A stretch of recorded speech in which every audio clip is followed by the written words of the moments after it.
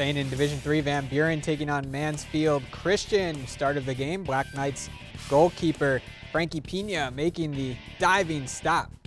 Good looking save there. Now Mansfield Christian lining up for the direct kick. Mitch Endicott gets in front of it and then clears it away to safety.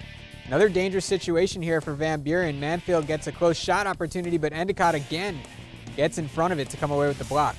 Now Van Buren Pina able to make the save as Mansfield keeping the pressure up. Yet another good look for the Flames. Once again, Pina makes the save, keeping it 0-0 at this point. But Mansfield Christian does get the victory 4-1, ending a fantastic season for the boys soccer team of Van Buren. So Fort Jennings, the lone local team remaining in Division 3, they'll take on Archbold on Wednesday night at Ottawa Hills. Mansfield Christian will take on Columbia on the other side of the bracket.